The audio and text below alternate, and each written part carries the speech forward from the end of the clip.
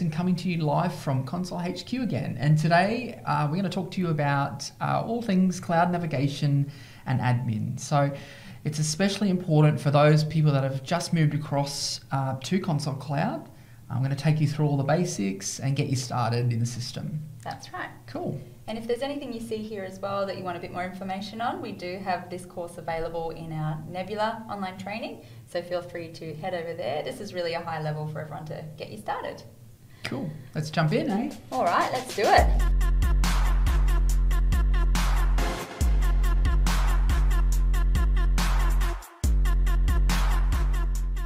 So the first thing we're going to look at is our dashboard and essential navigation to cloud. So what you're going to see when you first log in is basically everything of a snapshot of today. So when I'm looking at my dashboard, starting from the top, I can see any changes happening in the system. So I've got my product updates here as well. And then scroll down, I can see my current rent arrears, what inspections I've got, what's coming up, compliance, insurance, etc. So you really get a snapshot of your day, of what's going on. And all that's hyperlinked to um, different areas as well. So you jump straight into a property um, or straight into those workflows from here too. so you've also got um, your portfolios up here. So if you are portfolio based, you can uh, drill that down, adjust yours, or if you want to see everyone's, you have that option there.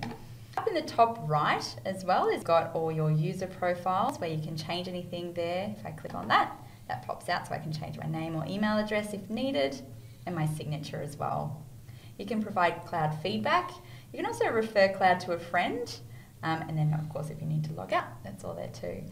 Then you've got your navigate your notifications, sorry. So new notifications will come up if there's any maintenance that's been logged through the tenant app, if there's any intentions that's come back through your lease renewal workflow, which you'll find out more in our next uh, live. We'll go through in a bit more detail of the workflows and things there. And you've also got your communications, and this is where all your emails sit. So you'll actually be able to see from here what's been sent. Um, and then also, if they've been opened and so on as well, you can click on them to see the detail of that email or SMS, filter down, and things like that too. And going across, you've then got Office documents, tasks, and also your help menu.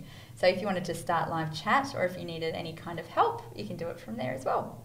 And then, of course, search. So if you're looking for someone in the system, typing it in, and then you've got all your feedback from that. Then on the left, we've got your menu. So just like most systems, your menu items are all located here. And you can see it's broken down into the different topics. So going through your properties, through uh, each type of property, and then of course people are all your contacts or clients. So owners, tenants, creditors, contacts, workflows. You heard me talking about that earlier on the dashboard. This is where you can access those inspections, if you're looking for maintenance, what lease renewals are coming up, etc. That's all, all available in there um, and as well as your accounts. So anything accounts related, so this is to do with receipting or with disbursements, bills, mm. payments, etc. That's all available in there. Insights are your reporting, which you'll see again in a later live, and then you've got all your settings as well down here. So a bit of a snapshot. If you do have multiple offices as well, you can change your offices through the name up the top. So just clicking on that and then choosing which office it is that you're wanting to log in on. Cool.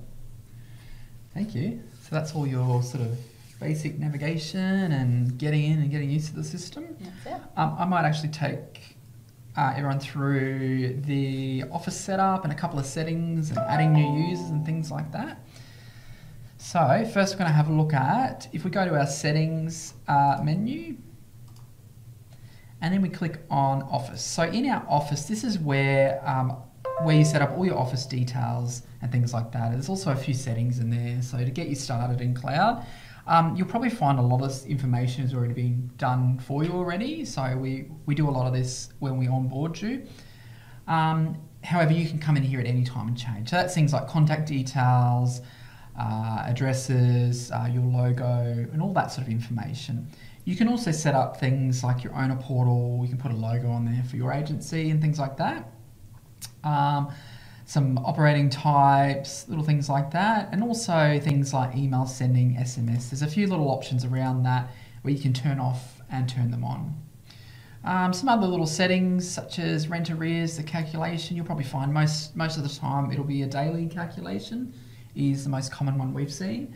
Um, there's also an option there to change for full rent calculation periods. Um, a few little extra maintenance settings, so like showing key key numbers on work orders and things like that. So you've got your tradies uh, with that information. And we do have a fraud detection um, service as well that's available to turn on. So that's really some basic office settings. That's especially for those that are getting started or um, setting up their business, um, that sort of stuff. Uh, the next one is our banking. So that's a really key area. So in here, obviously, this stuff would have been set up when you migrated to uh, Console Cloud or when you migrate to Console Cloud. And this stuff really just holds the information for your um, your own sort of fee account. So that's your general account for your agency, and of course your trust account, things like that. You also have some options uh, for your ABA details, uh, that sort of information. That's your bank file that you upload uh, for um, when you do your disbursements and things like that. Um, there is some little options here which I really like um, in the back, which I think are really important. So we've got this consolidate uh, payments. So this um, consolidates all your payment files, all your lines in your ABA file into one. And we also have some statements. So depending on your owners uh, and what they prefer or how you sort of work in your agency, you do have some options here to change the way your statements um, will look to your owners and things like that. Um, our gateway customers, um, you'll be using, so gateway people that are coming to cloud. So it doesn't matter what time you move over to cloud, you'll have one statement um, in cloud. So that inc- that's our external financials and things like that. So it'll include one statement for your customer. So no two statements from two different systems. Um, we also have some delivery options, some report settings if you want your end of month trial balances, and of course some uh, bulk receipting options. So you'll see here we do have an option to turn off matching of part payments. So again, these are it's fully customizable depending on how your office operates. Okay, what about users? So important part, this is where you invite people to your office. So you've got a new staff member or you're setting up your users for the first time. You'll see here in the settings and users, there's this little invite user option. And what this will do, it'll open up and it'll ask you what is the user's information and what level of access. So you can see here the standards level, standard level of access, property manager, uh, trust accountant, office administration. Again, it's completely dependent on your office who you provide what level of access to. You'll also notice these little tick boxes, which I think is really important um, for people that um, you know, to give some more sort of customizable options. So, if, for example, you don't want the trust accountant person to reverse transactions or do uh, reconciliations, etc., you can turn that off or turn that on, sort of thing. Um, one little last thing in the settings that I think um, is super important agency fees. And uh, that's obviously how we get paid. so we need to make sure these are right. There's a few little bits and pieces with agency fees that you um, that you need to know before you get started as well. So obviously in this setting, this is where we set up our agency fees. So what essentially what we do is we're setting up all our agency fees to begin with, and then we apply it to each owner's management agreement. So that means um, I can customize it in that second step as well. And you'll see that when we go and create a new owner management agreement uh, in a minute, that um, it'll come up on there as well. So I'll just take you through your basic agency fees. So adding new, um, pretty straightforward option. You can see here there's a number of different incurred on or scheduled uh, options around. So you can do on first rent received, so that's for your letting fees, things like that. Every rent for your rent commission and things like that. Um, there is a couple of little options which I really like is the maintenance payment and inspection. So those that do charge a little fee, um, you've got the option to add that per maintenance and per inspection. Um, and of course, there's a few lease renewal, on demand. On demand's good. Uh, I like the on demand fees. That allows you to charge it as you need to. So it's not a fee that happens automatically. Mm. It gives you a charging option. It might be for like your court fees. Yeah, court fees is a good example. Um, yeah, so that's and obviously clicking on these different ones, you'll see that what comes up will change down here. So when is it charged on? If I choose bill payment, that'll be different, and it'll be charged against which owner. And of course, these are assigned to our dissection, which is essentially our account codes mm-hmm. and that. Cool. Perfect. No worries. All All right. Well, let's now take you through a little bit of the setup. So you've gone through your office settings, you know how to click around and where to find your way. So now let's dive into creating some assets. So first creating a property. So one thing that you can do from your dashboard as well, you'll see this little plus button and that's where you can jump straight into create different things. So it might be to create a property, tenant agreement, etc. So from here, I can click create property or from the left hand side, I can choose to jump into my property view and choose add new from the top up here. So you'll really be guided by the fields as you start entering properties in, so or any kind of data really. You're just kind of going through and entering what you know. You've got a bit of a um, a Google search that happens for you as well, so you can click on the address as it pops up. You can add any unit numbers or anything additional that needs to happen here, building, location, etc. And then you've got your property reference as well. And then the use of it, so is it residential, commercial, is the house unit, etc. And you can also add your electricity meter number and any additional information. And like I was speaking about before, portfolios, you can also choose to assign this to the portfolio that's, um, that's required, or you can leave that one unselected if you don't have portfolios set up. And then save and view. So I've created my property now, and from here you can see a really good snapshot of all the different information you can actually add to that property. So I can see on the right, I can add a photo, and there's lots of additional features as well that I can start adding. If I choose that add feature, mm-hmm. I can put in my bedroom, bathroom, parking, maximum number of tenants, um, if there's pets allowed. So this really helps, especially if you've got, you know, there's high turnover in property managers and you've got a new property manager coming in. Um, it gives them a good snapshot into the property. It's um, good for advertising and stuff yeah, like that. Yeah, exactly. That's right. Um, adding any access information, so if you've got an alarm code or anything else. Now with cloud software, I do believe in some states you can't actually add the accept the alarm mm. code onto your yeah for your tradies and things yeah, like that. that's right onto yeah. your tradies. So just want to be aware of when you are putting that detail in, that can come across to your work orders and things. And remember back in that settings. Uh, in your office settings as well, those mm-hmm. maintenance options, so that will turn on or off those that's things correct. as well. Yeah, exactly. So it's important. Perfect. Sorry, Anne.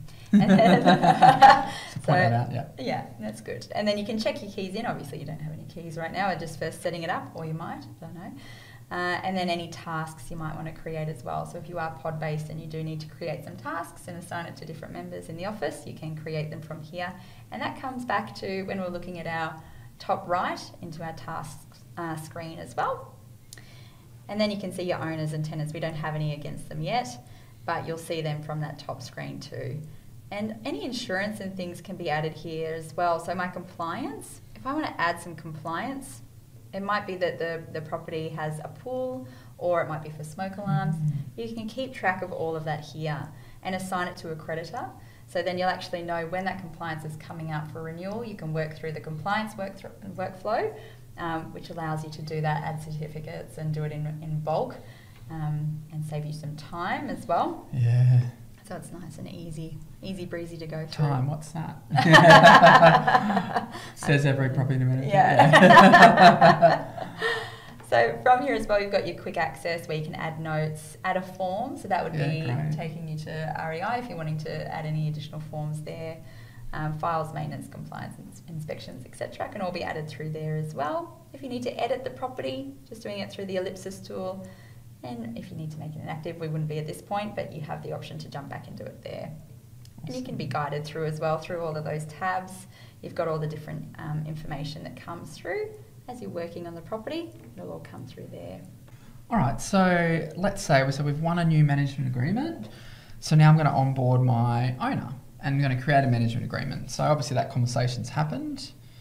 Um, so what I'm going to do now is I'm going to go through and just quickly walk through creating a new management agreement. I'm going to highlight those really important areas like the agency fees that we talked about as well. So I'm going to click add and back to what uh, Emma's point was the property page here gives you that little flow. So you'll you'll notice on this page when I add an owner, it'll start popping up with things like um, the application workflow, which and little other things. There's lease renewals, all sorts of things will start to appear on this page, which is I find really helpful for me, like when managing, um, you know, people because there's a lot of people and a lot of things going on in the world. in general. so this is just one little part, yeah. yeah. Okay, cool. So let's go add ownership. And I am going to, the address is already in there, so that's the existing address. And then the property reference, so that's already in there. Any of that information is already populated. I'm to leave that blank. Uh, our contact, so I'm to say we've already we already have this person as a contact. They're an owner of a different property.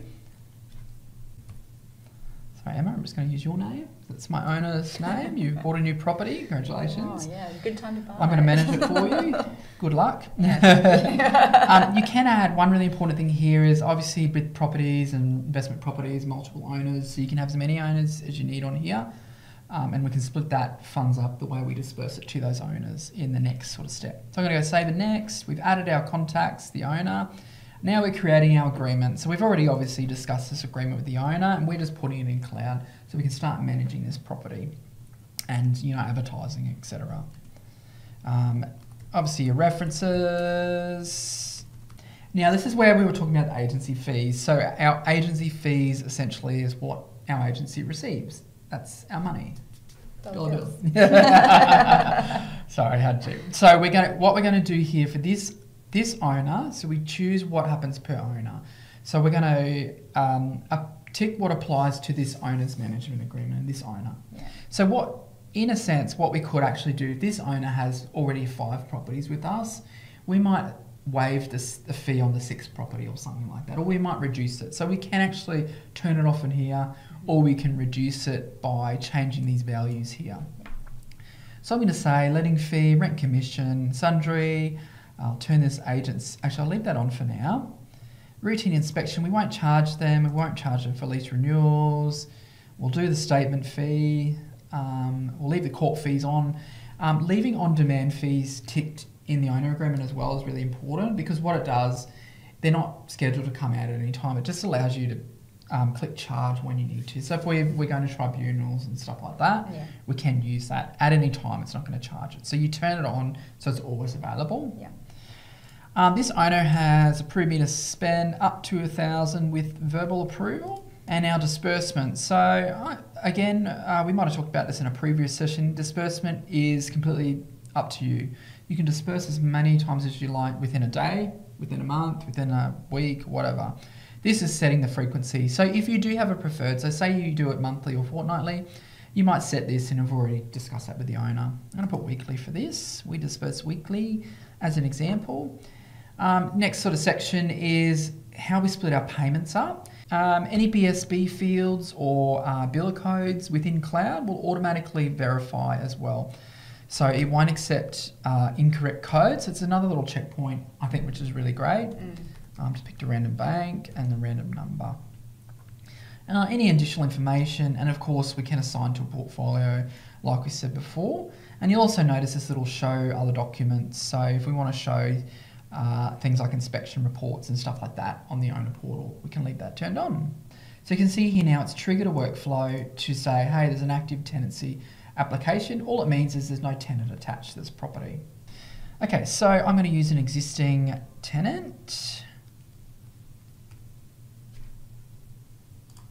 Danny Dog. Danny dog. And we're going to go next. He's our tenant. Again, we're creating a reference. Again, um, I'm just making it up. I'm going to enter in the lease start date. So this is a new uh, lease start. I'm just going to enter it as today. You'll see the inaugural lease already uh, copies for us. Uh, rent 2, no part payments have been paid already. They're not receiving any Centrelink, uh, any money like that. This one's a residential, so we're not going to use, and again, some residentials will do rent invoices as well, but that's for our commercial. So we'll do a whole other, I think, session on commercial Yeah. and what that functionality means and creating commercial leases, etc. Mm. Um, same with our rently month, uh, recurring rently, recurring monthly outgoings. Um, that's another obviously commercial. You can also use it. So if you've got regular invoices for your residential properties, absolutely use that as well. Yeah, you can choose your dissection in there. So if you have something set up like a gardening service that you might be doing with that tenant, um, you can actually set that up as an outgoing. Yeah, cool. Yeah. Okay, so we've got our bond, bond reference. Uh, if we've already paid some rent, we can put it in there. Um, if our bond is to be expected uh, as direct debit, so our Victorian customers, that's uh, especially handy for you guys. That'll allow you to see it as uh, when you reconcile stuff like that as receipt, as uh, direct debit. Sorry. And our uh, reference number for Denny Dog. So this is where um, obviously when we're receiving and tenants are transferring money into our trust account, we want them to use this reference number. Mm. Go one step further and use sign your tenants up for Console Pay. Yeah. Um, I recommend because what that'll do is it'll do all the matching and references for you, so you don't have to worry about keeping track of references. What an easy reference um, that I've used in the past is the tenant's mobile number. Yeah. So I find that really helpful. Um, last little options. So we've got the option here to schedule the initial inspections. I might just do that. Let's just say we're going to do the um, first inspection three months. Oh, actually, here we go. We're going to do our routine. Sorry, our first one we might do in two months' time, and then we might do recurring for three months. Again, this is optional, so I don't have to do this. I'm just doing it because I like to do this uh, in the beginning. And our console pay, we have the setup option. I'm going to save that. And again, I'm going to go back to that property. There's a lot of links within cloud. Any blue areas is a link. So it'll go to the owner, the manager, uh, so the tenant and whatnot. So you can see there, tenants in there. We also have other little things like payment information, stuff like that. Mhm. And our rent calculator's popped up now that we've got a tenant. Perfect. Cool. So I've talked for enough. Emma's ear off for a little bit. So I might actually. Well, a nice little hack Yeah. as well uh, on the back of that, and talking about links. If you ever want to Mhm. have two windows open at a time, you might just want to check something and own a detail Ah. and still be Okay. in the property. You can hold Control on your keyboard and then hit the link, Let's hit my tenant, Denny Dog. And then that's going to open a new little window Ah, for so you. that's you can popped actually- up yeah. two different screens. That's right. So then you're not closing out of one or going into different screens without losing where you're at with the other one. So it's a little That's hack super on the handy, side. yeah. It is handy. What about our keys? Sorry, question. Yes. so one thing we didn't sort of talk about was we entered this information in our keys, but I really like this key check in and check out. Yeah. So um, if you are using a key system and you have key numbers, etc. So one little thing you can do from this area is you can check in and check out keys. So you can see here I can check out the key. Let's say for example I'm going to do my first inspection. I'm going to check it out. Um, routine.